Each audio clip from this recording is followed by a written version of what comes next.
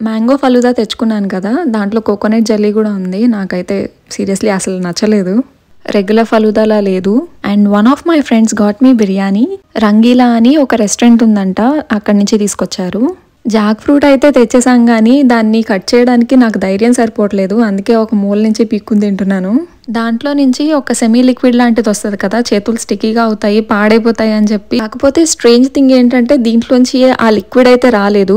అయినా సరే ఒక హండ్రెడ్ గ్రామ్స్ ఆయిల్ తీసుకుని అదంతా చేతి నిండా రాసుకుని మొత్తానికి రెడీ అయ్యాను దాన్ని కట్ చేయడానికి.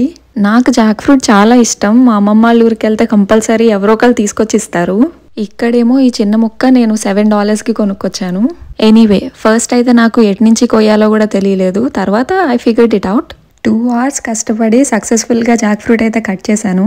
That too without my hands getting messed up